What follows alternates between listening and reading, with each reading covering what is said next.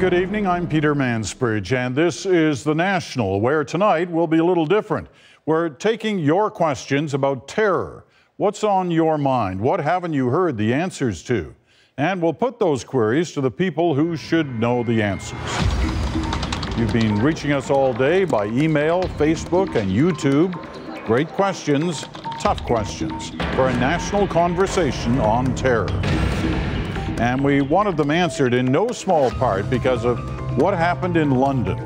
That's where we begin with the news of the day. Police reveal more about the attackers. And as his city mourns yet again, we talk to London's mayor. We aren't going to allow anybody to fuel division or to divide our community.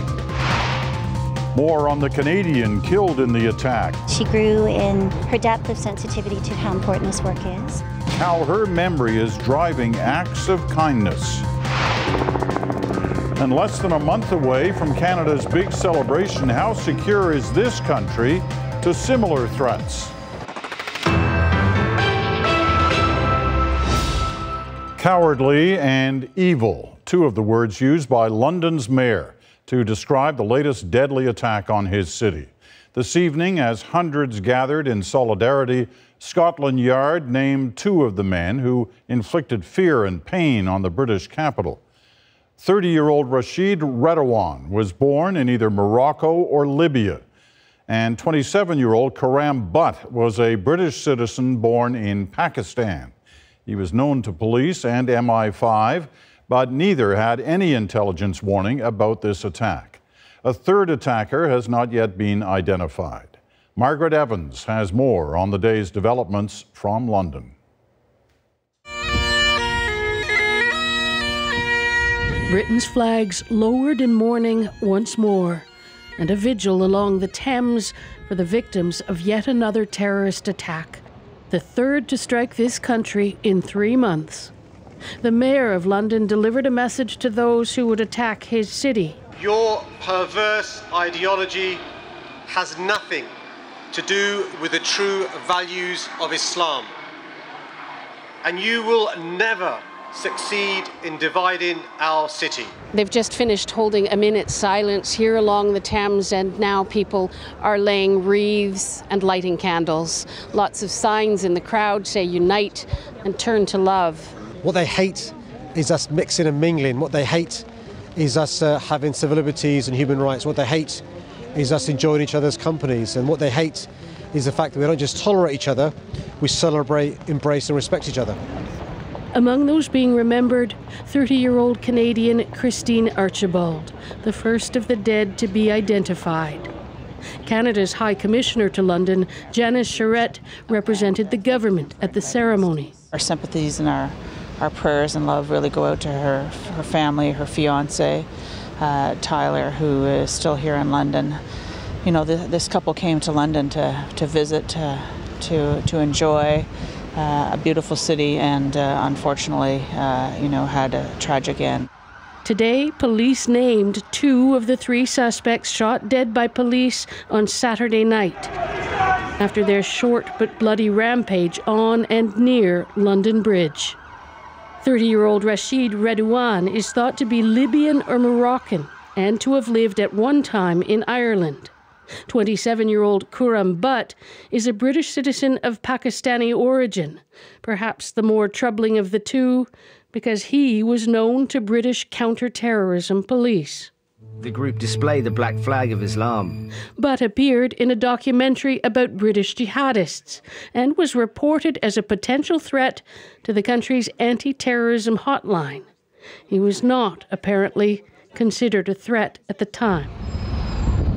Another bridge on the Thames. The flowers here faded, but not the memory of those killed in March when Khalid Masood drove into four pedestrians with his car before killing a policeman with a knife. Today, barriers went up on three London bridges to protect pedestrians from a similar attack, reassuring to some, if perhaps a bit late. Well, it made me feel a little bit more relaxed, to be honest with you, to know that. Uh you know, the authorities are trying to do something about these terrible atrocities. Masood was also known to the police, as was the Manchester bomber who killed 22 people last month. You cannot protect the public on the cheap. With just three days to go before an election, security has become a hot issue. The British Prime Minister Theresa May under fire for cutting police numbers during her time as Home Secretary. Criticism she rejects. We have been protecting counterterrorism policing. Uh, we've provided funding for an uplift in armed policing. We have, uh, from 2015, we're protecting police budgets. Sadiq Khan disagrees. It's a fact, I'm afraid, over the last uh, seven years, the Conservative government has cut a considerable amount of money from London's budget. It is for this country a time of deep reflection and of sadness. Margaret Evans, CBC News, London. Yesterday, Donald Trump criticized Sadiq Khan's response to the attack in London. Today, the president doubled down. Sunday morning, the U.S. president tweeted at least seven dead and 48 wounded in terror attack and Mayor of London says there's no reason to be alarmed. Khan's original message was referring to the increased police presence in the city. Today, Trump said that was a pathetic excuse sold by the media. In response, Khan said he's too busy to respond to the president, but that Londoners won't let anyone, including Donald Trump, divide their communities. Those who knew Christine Archibald are remembering the BC woman as kind, and generous. She loved helping others and giving back to her community. Now there's a movement to carry on that work in her memory. Carolyn Dunn has more on that. In Christine Archibald's hometown, the local food bank is collecting donations in her name. We can't, you know, let the radical few overtake the love of what we have in communities, and, and I think that's a really strong message. And I think um, as a tribute to their daughter, we should all look for more Chrissies in the world.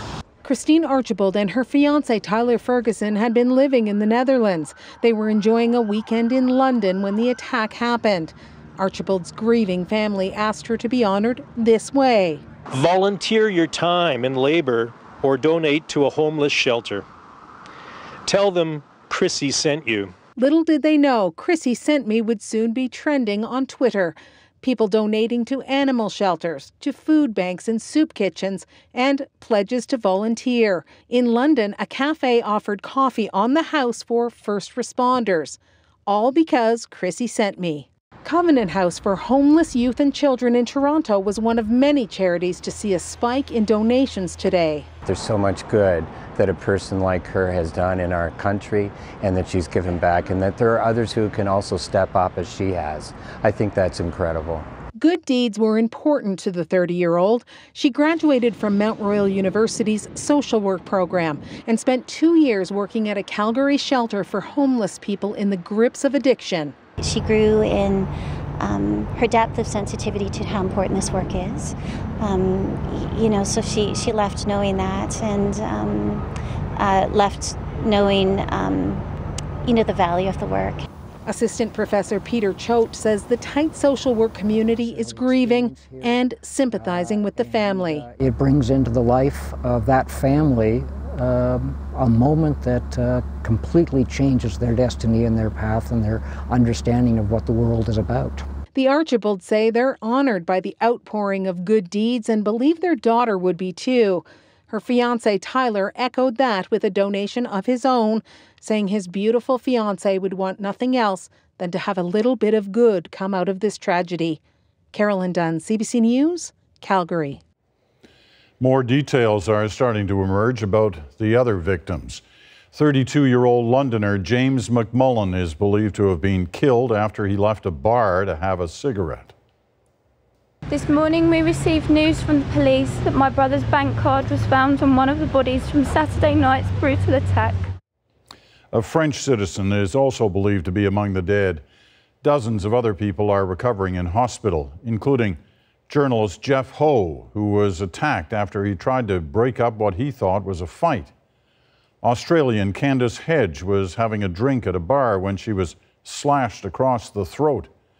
And 23 year old Daniel O'Neill has a 17 centimeter wound from his stomach to his back. With all the coverage from London and Manchester just two weeks ago, it may be hard not to wonder how safe Canadian cities are, whether attacks like those could happen here. With big events planned around Canada 150 and summer fair like the Grand Prix, security is front of mind. But as Catherine Cullen tells us, there are some important differences to consider. A moment of silence in memory of the victims of the attack in London. As they reflect on the lives lost in London, there are security questions to reflect on too. In recent weeks, the UK alone has seen an attack near its parliament, then the bombing in Manchester, and now this London Bridge attack. Canada's public safety minister says threat levels here will remain at medium. There is uh, uh, no information available at this time to Canadian authorities that would cause that level to change. Still, security experts have to contemplate how to prevent an attack when it can happen in so many different ways. Just recently, we've seen knives, vehicles, and explosives used to kill. The only really way to prevent it is to have intelligence beforehand. While barricades and other checks and balances can help, that alone isn't going to stop an attack, says this former strategic analyst with CSIS. In the absence of prior intelligence, um, what's a so-called small-scale attack, or I would call it a simplistic method attack, is next to impossible to stop. Ralph Goodale says sharing intelligence intensifies after an attack. But it's at a very strong level all the time to make sure that we know what we need to know and that we're in a position to respond effectively. While attacks in Canada are rare, they do happen. In 2014, there was the shooting in Ottawa, just days after the hit and run killing in Saint Jean sur Richelieu. The most deadly attack in recent years was the Quebec City mosque shooting, where the victims were six Muslim men. With massive celebrations planned for Canada's 150th birthday, there are questions about keeping everyone safe. We uh, continue to uh, look at every necessary measure to ensure that Canadians uh, can be safe and can have confidence uh, in their safety. Already this year, officials in Ottawa changed their New Year's Eve plans after a truck drove into a Christmas market in Berlin. We had to go and put front end loaders at all cross section streets so that the, the young kids carrying the torches were not going to be harmed or, or run over. But ultimately, the odds of an attack in Canada are much lower than in Europe or the UK, says Gurski. They have thousands of people who become radicalized and a percentage of those who move on to actually become violent terrorists. We have hundreds. They have thousands. Right there, that's an order of magnitude difference. The Prime Minister says it's important that Canada Day celebrations remain open and inclusive as part of celebrating what it means to be Canadian. Catherine Cullen, CBC News, Ottawa. People living in Qatar have reportedly started stockpiling food tonight after some of the Arab world's biggest powers cut ties with the tiny Gulf country. Saudi Arabia, Egypt, United Arab Emirates, and Bahrain announced the action this morning in a coordinated move. They accuse Qatar of supporting extremists in the region, including the so called Islamic State and the Muslim Brotherhood. Air, land, and sea links to the country have been blocked. Qatar imports nearly all of its food, with about 40% coming from Saudi Arabia. The move comes two weeks after Donald Trump's visit to the region, during which he demanded Muslim states help in the fight against terrorism. Qatar says the move is based on lies and denies it backs militants. Well, we'll get back to other news a little bit later in the program, including a surprising chill on a hot housing market. But right after this break, we'll answer your questions in our national conversation on terror.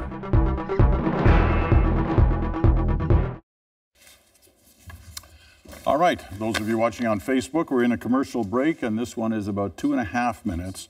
We're just getting organized for the uh, question and answer session, getting some of our guest panelists here in Toronto, getting them seated in their uh, positions, and we have guest panelists also in Ottawa and Detroit. And you'll recognize some of these people who have been on our program before.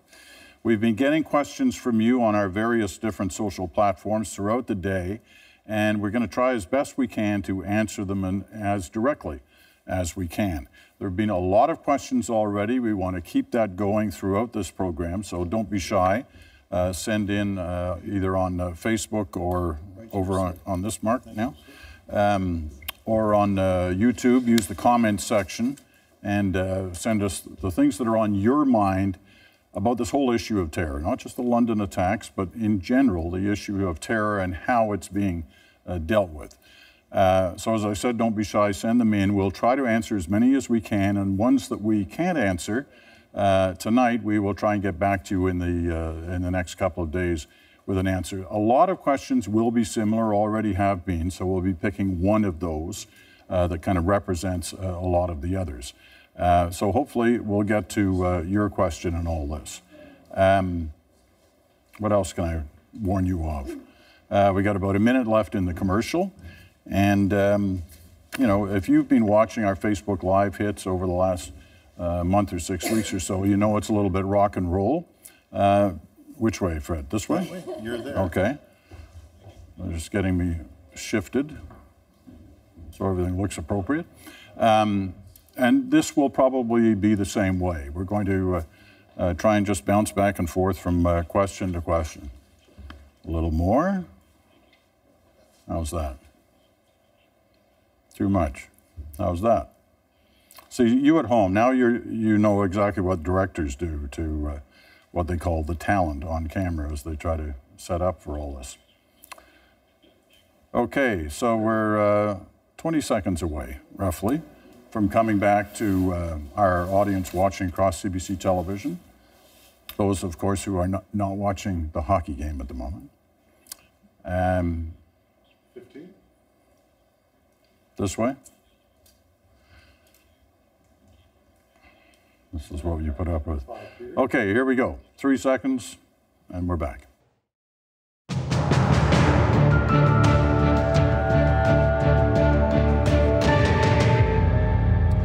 Well, we've all seen the stories, witnessed the horrific consequences. London, Manchester, Paris, Kabul, Berlin, Ottawa, 9 11. The details all fresh in our minds, and it's clear that for many of you, there are questions you feel are not being answered. Tonight, we try with some people with the backgrounds to help. Joining us from Ottawa, Stephanie Carvin, who can talk about counterterrorism.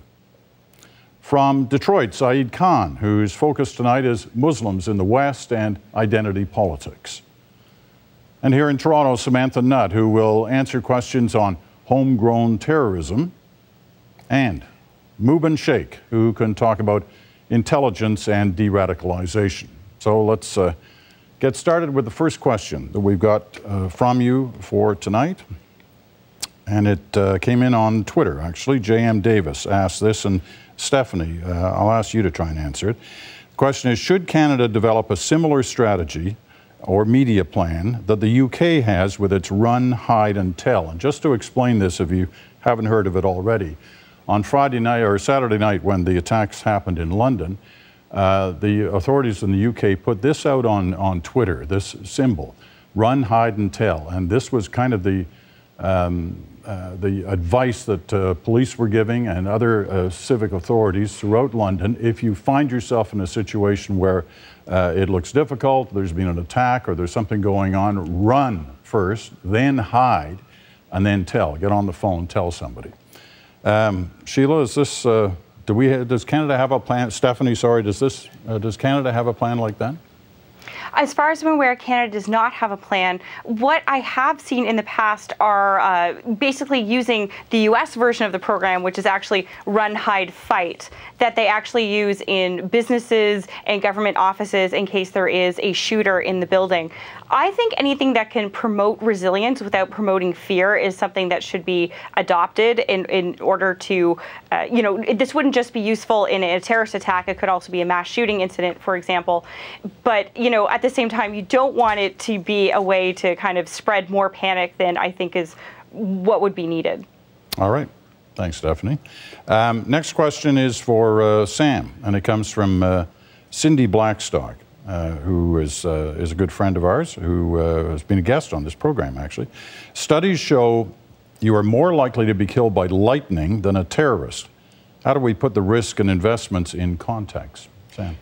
Peter, I think that's actually a great statistic to consider, uh, and, I, and I think it's critically important. When you look at where terrorism is happening throughout the world, there it is 50 times greater still in countries that are in Asia, in uh, the Middle East, in Africa, than it is in Europe and the Americas. I mean, even in the last week, 100 dead in Afghanistan, more than 30 killed in an explosion in Baghdad. So we need to put that context, at least the European, the Western world context, into a certain amount of a, of a reality check. Um, it is it is a risk. It is something we need to take very seriously, but at the same time, we shouldn't overstate that risk because, frankly, that does play into the hands of those who would who would seek to unsettle us and to uh, to impose that kind of fear. All right, Mubin, here's one for you.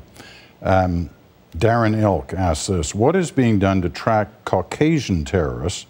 Like the man from the Quebec mosque attack. We, we, we do tend to always hear about uh, the non Caucasians who are being tracked. What's being done to track Caucasian? Well, I mean, the uh, intelligence services and police services use the same tools, uh, regardless of what group it is. Uh, there's no, there are no special surveillance uh, tools for Muslims only and for white people something else. So uh, they're using the exact same tools. Uh, it can range from human intelligence gathering, actual spies in groups, monitoring social media, intercepting communications, the whole gambit. Okay. Saeed, here's one for you.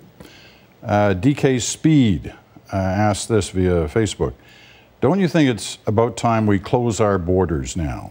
Don't you think we should slow this immigration policy down? Do we want to end up like Europe? Um, you've seen this debate play out in, in your country, Saeed, and now here's somebody suggesting uh, that the same uh, issue should be debated here in Canada. How do you, uh, how do you react to that? Well, to, uh, to go along with what Sam was talking about regarding statistics, uh, even in the United States, the chances of uh, being killed by a refugee or by an immigrant are far, far less than being killed by somebody who is a born and bred American citizen. We saw this as the case in Colorado, where a young man uh, shoots up a, a, movie theater, or, for example, a, uh, a kindergarten in, uh, in Connecticut.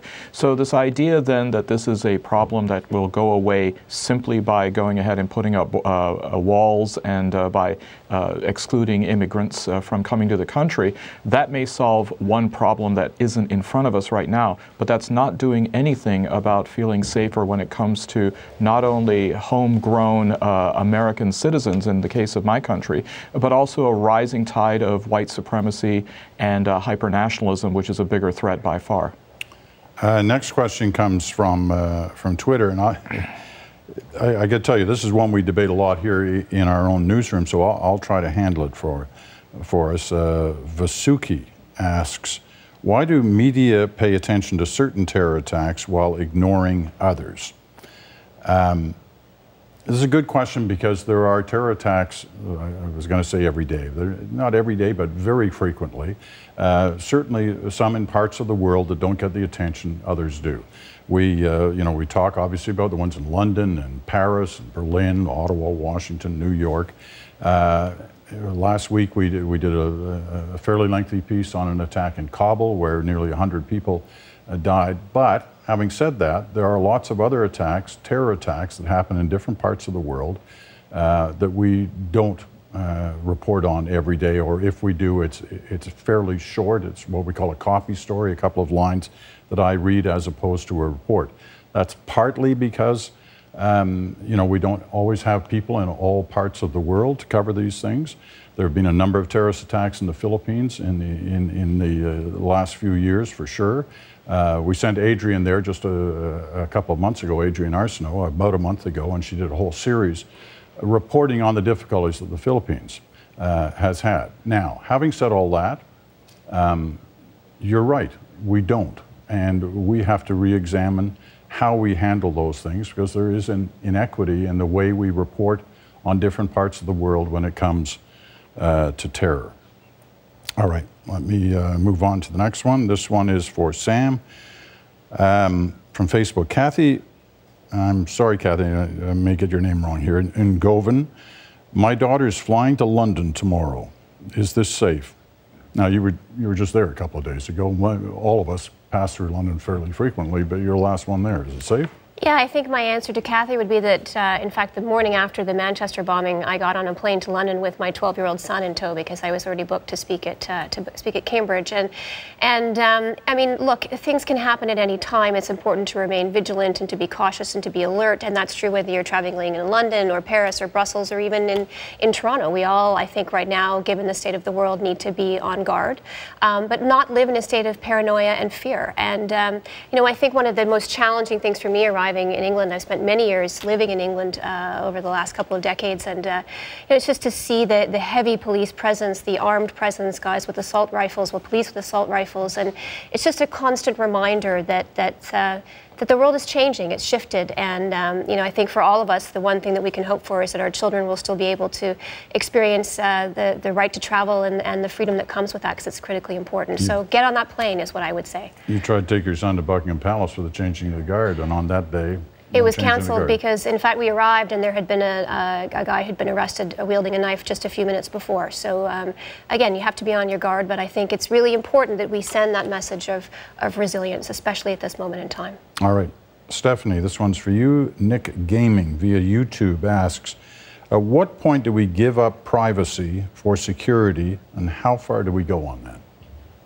I think that's a very difficult question, and one certainly we've seen the Liberal government uh, dealing with uh, in the response to the Green Paper it put out. It, it, released a report about a month ago, and the consensus was that actually people who are interested in this topic, people who responded to the government's questions, are not interested in giving up privacy uh, going forward. And, you know, mass surveillance is not particularly useful for intelligence collection and analysis. What you want are targeted collection on, you know, a set of risk factors, risk factors that are showing that someone may in fact be mobilizing, when in fact, you know, with this kind of mass surveillance, what you're actually getting is just a lot of data and not a lot of quality analysis. And, and that can actually confuse things as opposed to to uh, help things. So I think you know there needs to be a, a, focus here on protecting privacy. That's certainly important. And I think to the extent that some people want to give up those privacy rights, don't necessarily consider the way that intelligence analysis works with uh, domestic uh, extremism. The fact that you want uh, to you know be more targeted rather than this kind of mass surveillance that that might be seen as a panacea through algorithms or what it be, but really can sometimes just create uh, more noise. All right. Mubin, you were in the intelligence business, but I saw you agreeing with what Stephanie was saying there. I got to take a break in 30 seconds, but you, you were, had agreement on that. Yeah, wide net spying doesn't work. Uh, the NYPD tried it uh, and outright came out and said it doesn't work. Uh, targeted collection is the only way to go. All right. We're going to take that quick break and then more of your questions. So keep them coming in. Stay with us.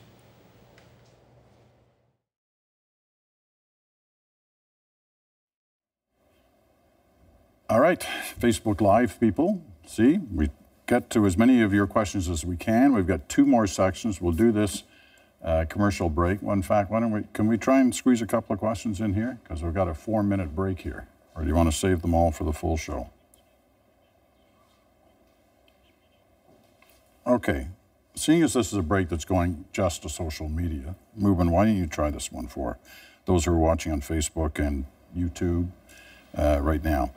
Uh, Dan Anzarut asks, how should we be using social media to help prevent terror? We hear so much about how social media is being used by, by ISIS and other groups to influence uh, their, those who are maybe joining them. Uh, how should we use it to prevent terror? You know, from uh, for three years, 2013, 14, and 15, I was on Twitter and Facebook with ISIS members uh, almost every day.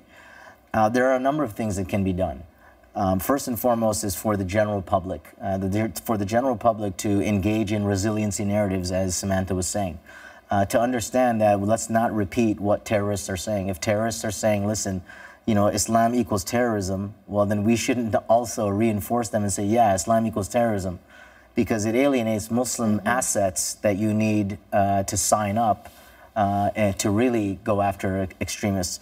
Another way to prevent it is education. I mean, the uh, the internet is a wonderful thing. I mean, it's an amazing place for people to learn, and uh, you know, we need to create products for children to to um, uh, to to consume online, so that it's not just one thing that they're seeing all the time.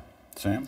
I agree wholeheartedly with that. Those counter narratives are incredibly important, and for people to feel as if they are being included uh, in things, because what we know is that sense of alienation, that victimization, that that aggrievement can actually be one of the one of the major drivers and one of the sort of dividing factors when it comes from having ideology and then acting on that particular ideology. But I do want to hit on uh, a point that Saeed mentioned earlier, which I think is incredibly important, and we've seen this particularly in Britain over the last few years. That when we have uh, extremist acts like this, there is a, uh, a sort of a, a, a, reciprocal acts that tend to happen. Um, and we have seen an increase in hate crimes, in particular in the UK, uh, targeting uh, Muslim organizations and groups, associations, um, everything from you know verbal abuse and assault to online harassment, and those have gone up significantly over the past couple of years. They started with the with the Rigby attack, uh, the the uh, young officer who was stabbed, mm-hmm. and and that has gone unreported, unfortunately. And things like that, to Mubin's point, that when when you have that sense of alienation, when you have that sense that people are being singled out, that they're being persecuted, uh, that can feed exactly the kind of ideology and resentment that ISIS tends to hang on to and, and use to its advantage. All right, there's bonus coverage for Facebook viewers. We got a minute before we're rejoined by the full network side. Do you want to pick up on those two points before I uh, uh, send it back to the full network? Sure. I mean, what we found happening in Portland, Oregon, uh, just a few days ago is uh, is is part of this longer chain of events. And uh, some people may want to go ahead and stop the, uh, the chain and uh, stop the whole cause and effect aspect. But we find that this is uh, unfortunately a rather endless uh, and seamless continuum of, uh, of action. Now, some of it is action and some of it is reaction, but then you also find that there are causes outside this binary of Muslim, non Muslim that are rising up. Again, when it comes to the rise of uh, white supremacy, when it comes to this whole Vinlander uh, movement, uh, uh neo Nazism, uh, this is a rather frightening uh, mm-hmm. moment that we're facing because okay. there really is no pushback. All right, Saeed, I got to stop you there. We're going to be rejoined by the full network in four seconds.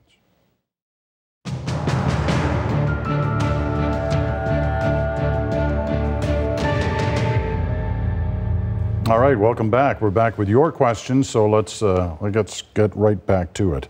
Uh, Saeed, this one's for you. It's from Justin Ballack. Asks via YouTube, I'm an air cadet from Kitchener, Ontario, and I was wondering, is Canada really that more safe than the UK? So you're watching from the outside, Saeed, and what do you right. think? Well, I mean, I can only see uh, what I see from Canada and from the CBC about what's going on. And uh, uh, it seems as though it's much safer than the UK. That's not to say that the UK is a bedlam of, uh, of a lack of safety. Again, we have to really contextualize and uh, make proportionate these incidents. They are still um, far, far fewer than, for example, even what happened in the UK during the Troubles, a time when I was living in the UK and there were always threats by the IRA, bomb threats as well as actions that were taken out. What we find is that, uh, of course, everybody now is internalizing a lot of what's going on thanks to technology, thanks to advanced communications. Uh, literally, something that happens half a world away is felt as though it's happening next door. So that is creating a perception or a misperception that perhaps Canada is somehow less safe than other parts of the world. And as Sam aptly put, there's a lot more that's happening in places like Asia and in Africa than are happening in the West still. All right. Stephanie, um, this one's for you from Twitter. Jane G.V. McCaughey. How do uh, the media and the government responses to Saturday's attack in London compare to those in 2005? That was the 7 7 attacks in London. And I'm asking you, um, uh, Stephanie, because you were living there at the time, and uh, what, what does this say about security perceptions today compared with then? Well, certainly in 2005, the UK was not a stranger to terrorism. It had, of course, lived through the uh, IRA bombings that had taken place for a number of decades beforehand. I think what the shock of 2005, though, was the idea that jihadi terrorism wasn't necessarily something that came from without. It could also come from within, and it could be very deadly. So you basically had a kind of foreign fighter attack individuals who'd gone abroad, gotten training, and were able to conduct an attack. And I think that was was what was so shocking. So to compare that to today, you know, sadly, even though the UK has had a number, uh, uh, sorry, a, a, fairly good track record up until this year with regards to preventing violent extremist plots. Uh, you know, we're kind of used to seeing these images now, whether in Paris or Brussels. So, uh, so I think we can actually say that you know, we can contextualize these attacks a little bit differently, and we're seeing that in the media as well, in, in terms of uh, the messages being sent, even if uh, some of the images are in fact gory. All right. Sam, um, you can pick up on this because it, it, it, reflects some of the comments we've all been making tonight here. Patrice Robinson asked via Facebook, what precisely does be on guard and remain vigilant look like? What are you suggesting that a regular person do to stay, stay safe in this climate? I, I, may not be the best person to answer that question, Peter, because I've been going in and out of war zones for 20 years. So mm-hmm. I'm always the kind of person who is looking, uh, when I sit down, to, I always want to know where the nearest exit is. I always want to know what my strategy will be uh, should something happen. And I don't think that's a very normal, nor is it a healthy way to live your life. Um, but what I would say is, and it sounds like a cliche because it is the tagline that gets used around the world, but if you see something, say something. You know, if, you, if something looks as if it's, uh, if somebody's looking uh, as if they're uh, about to carry something out, if they're uh, behaving in a way that's particularly aggressive, if you see a car that's veering towards you, um, just just remain alert, remain vigilant. And unfortunately, that's hard to do at this uh, this day and age. You know, a lot, a lot, of us we're looking at our phones, we're distracted, we're thinking about other things. But um, you know, it's I, it's not that it's a guarantee, um, but by paying attention, you don't know, uh, you might pick up on something, and it might change your life.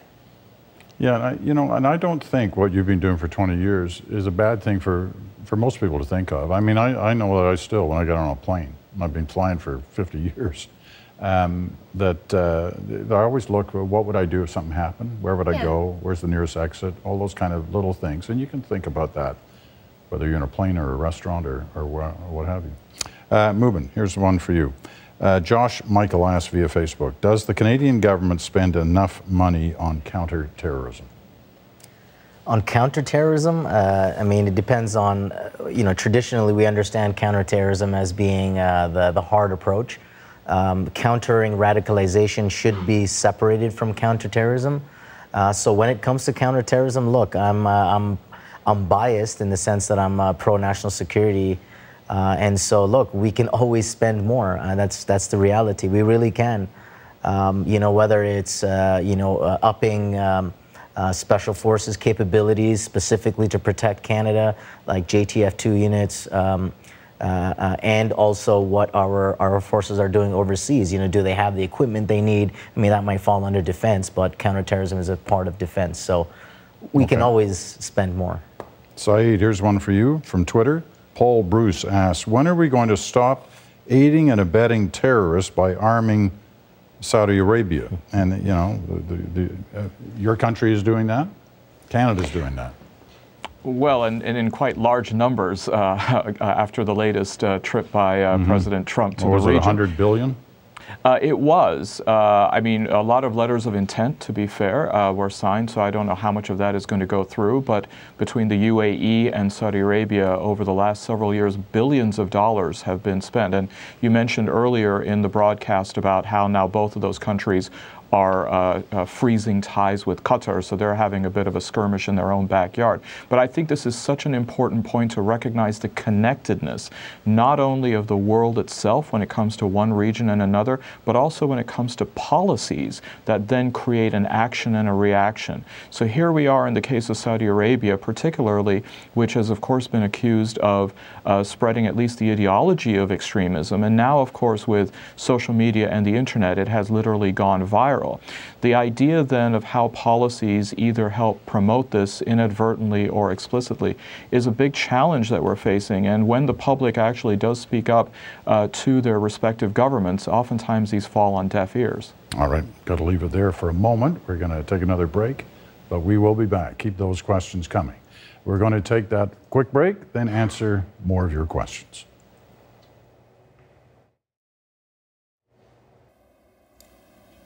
All right, still on Facebook Live. We have some more questions. Uh, uh, okay, let, us run this one around. We have three and a half minutes. See how many people we can get in on this.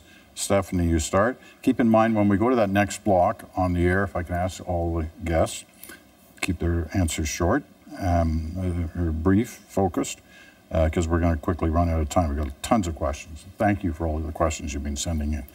Brock Warner from Twitter asks, is the immediacy of social media and a 24 hour news cycle increasing awareness and empathy, or is it desensitizing the public to acts of terror? This is a good question. Stephanie.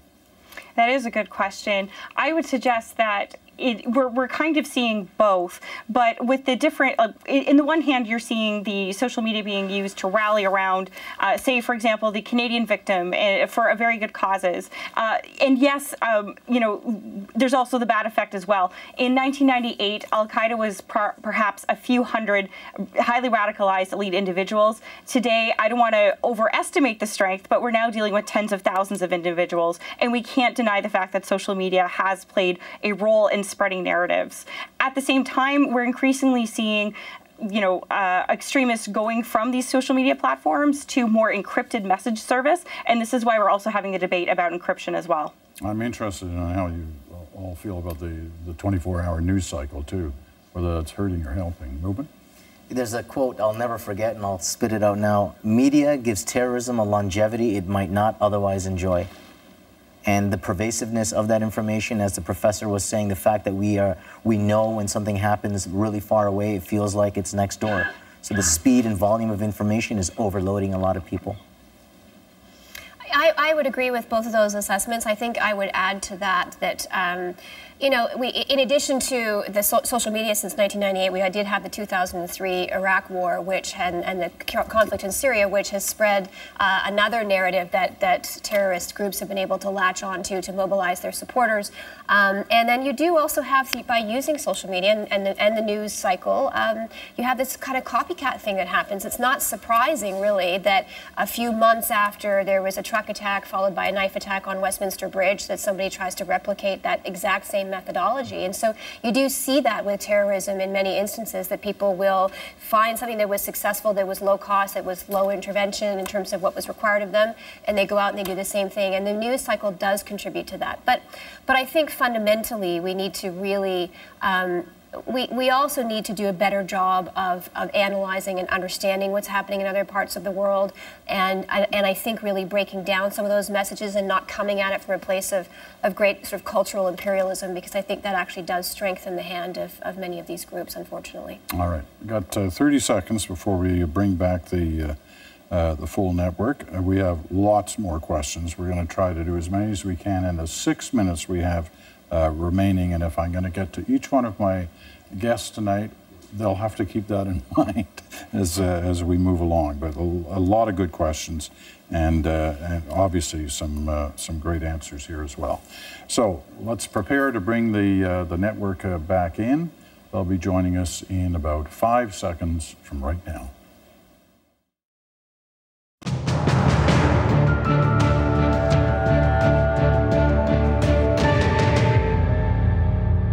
All right, into our final block. We got six minutes, so let's get right to the questions here. Um, and the first one is for Mubin from Ali Khan Samani asks via Facebook, why is there such a lack of education on the diversity of Muslims?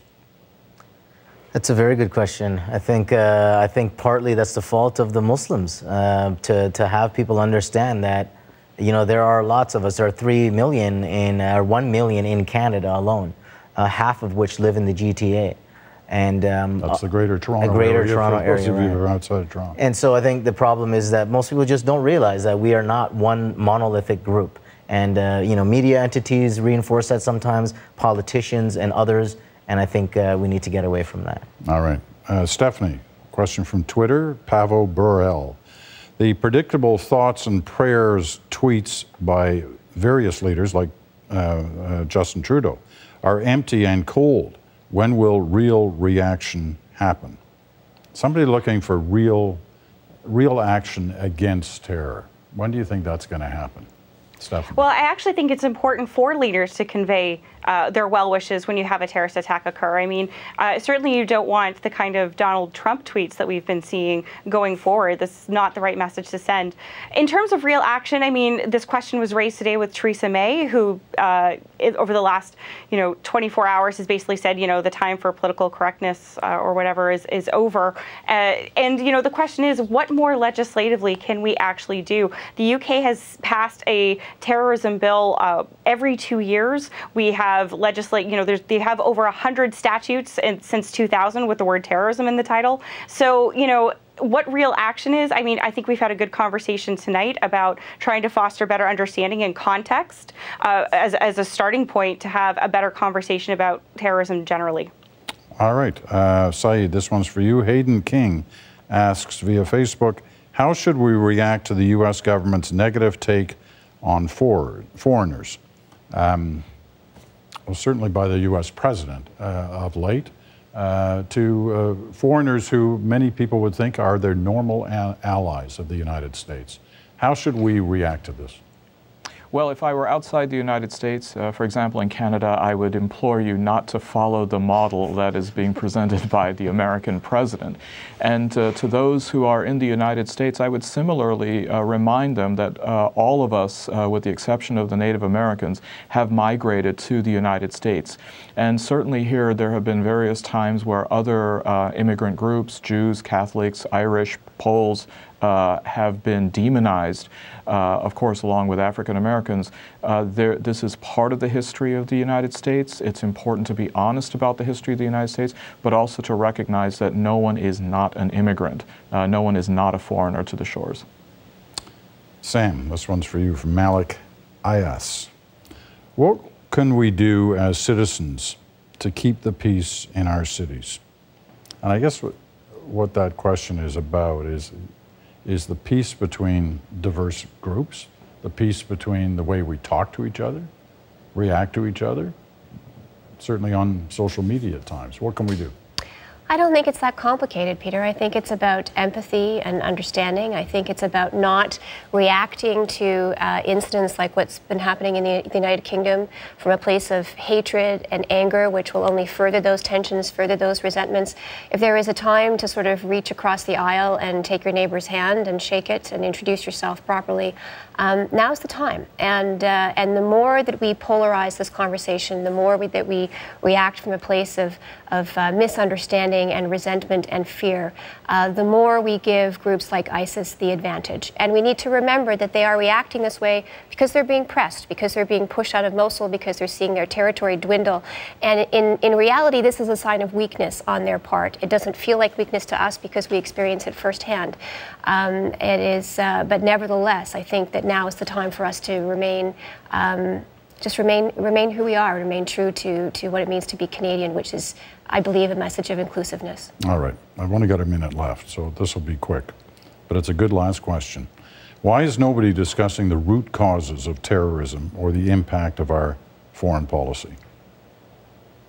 Mubin, you want to try that? Oh, fantastic. Thank you. Uh, great quote.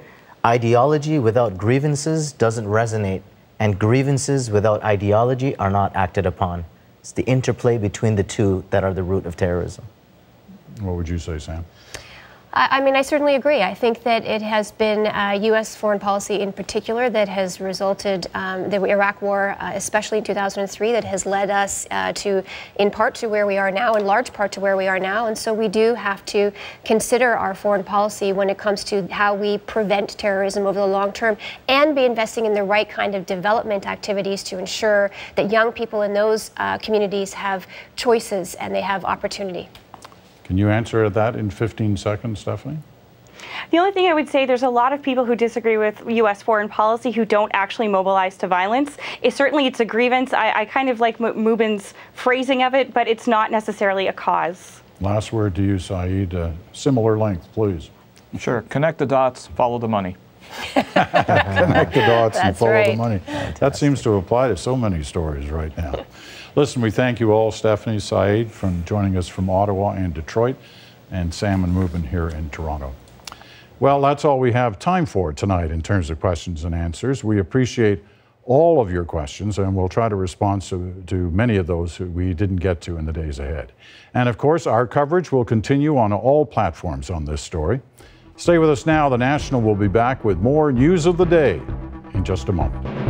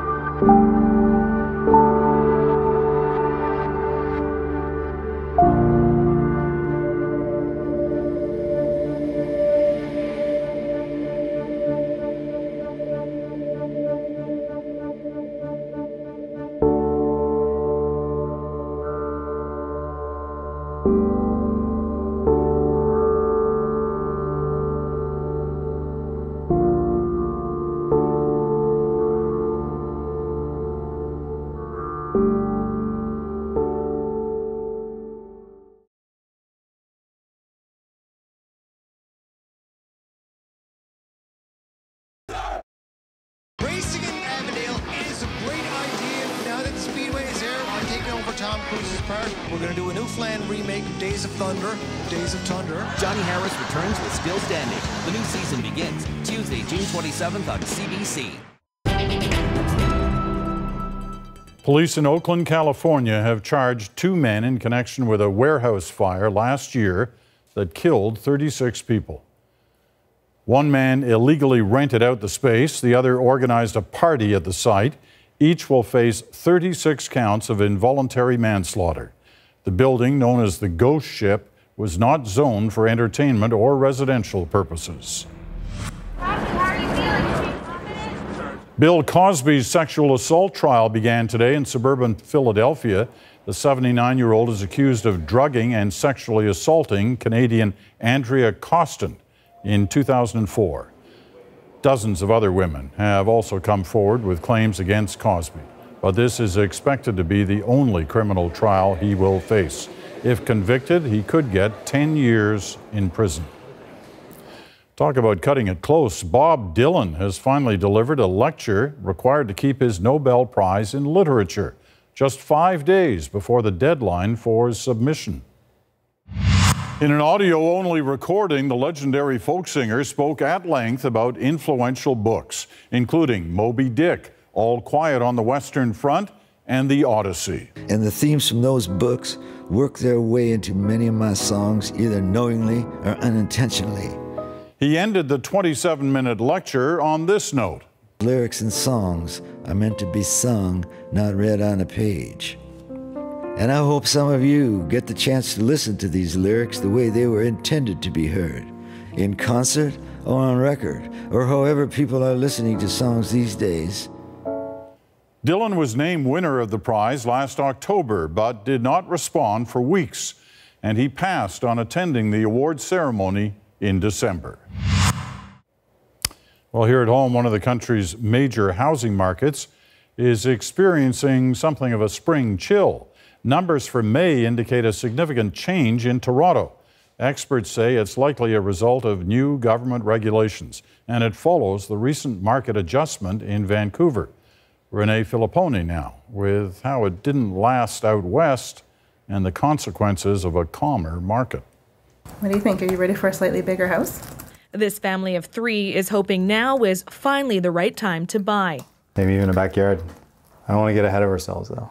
Renting for years, they eventually want to own, but couldn't stomach the crazed market earlier oh, this spring. I'm very happy that we weren't as seriously looking three months ago, because I think we would have just been so put off by the whole process. At open houses over the weekend, Kayla Hache felt a sense of calm. There wasn't a mass of people going in. I felt like it was the anxiety was taken away. Like I could walk in, there was no pressure. It felt like there wasn't everyone vying for this one house. In the Greater Toronto Area, the number of active listings rose by nearly 43% compared to last year. Sales are down by more than 20%, and prices are falling off their early spring peaks. For a detached home, average prices are up year over year, but down from April a little more than 5%. Many say it's in response to the provincial government's measures to cool the market, including a foreign buyer's tax and expansion of rent control. It has been in the case in the past that these are just initial jitters and the market would uh, resume to its normal uh, activity in a few months' time. I think we had, had a little bit of a storm. This real estate lawyer says some buyers have been caught in the market swing and could be on the hook for tens of thousands of dollars, unable to close deals they made when the market was red hot. There are situations now where people who bought first and are now trying to sell, they bought before the government announcements, now they're trying to sell, they're having some difficulty selling for the price they thought they would get in order to afford the new home. A knee jerk reaction or proper market cool down, no one can say for sure. Vancouver saw a similar response following the introduction of its foreign buyers tax nine months ago. But sales numbers and prices out there are now back at near record levels. Renee Filipponi, CBC News, Toronto. Well, like Toronto's housing numbers, today's financial markets were also trending down. The TSX fell 32 points. The Canadian dollar bucked the trend. It gained an eighth of a cent. South of the border, the Dow lost 22 points. The price of oil was down 26 cents a barrel. This Thunder Bay homeless shelter says it was thrilled when it received a $10,000 donation towards its street outreach campaign. But it actually tried to give it back. Here's why. The gift came from a man who is homeless himself. He had recently received compensation through the Residential School Settlement Program. The man, who wants to remain anonymous, insisted the shelter take it because he wanted to make sure his friends would be safe and healthy. Before we go tonight, a look at a story we'll bring you tomorrow about a face you may know, but a family's pain you may not. This is from when he was really teeny, yeah. eh? I'm Reg Sherren with a story of love. You're only as happy as your unhappiest child. The most comforting nights of our lives were when we knew he was safe and when he was in rehab. A story of addiction. He left her apartment and walked up to a bar, walked right into the bathroom, shot up the rest of the heroin, and just hit the floor and died. And of loss. Well, you don't. You have holes in your hearts that will never heal. That describes Ann and I and Darcy perfectly. But um, you know, we uh, we miss him every day. But we, you know, you go on. You know, having everybody out here supporting. How one very high profile family is coping with the death of a son and brother lost to addiction. Just think you're filling this place four times over in your in your brother's memory. How's that feel? That feels really good, actually. Yeah, when when you put it that way, that's uh, makes it more meaningful than just doing a regular show, right? Yeah, uh, you'd be pretty proud of you, I'd yeah, say. Yeah, yeah. And what they are doing to try and help others. We just got this, and we're very excited about it. So. In Bruce's memory, tomorrow on the National. That is the National for this Monday night. For news at any hour, you can always go to our website, cbcnews.ca. I'm Peter Mansbridge. Thanks for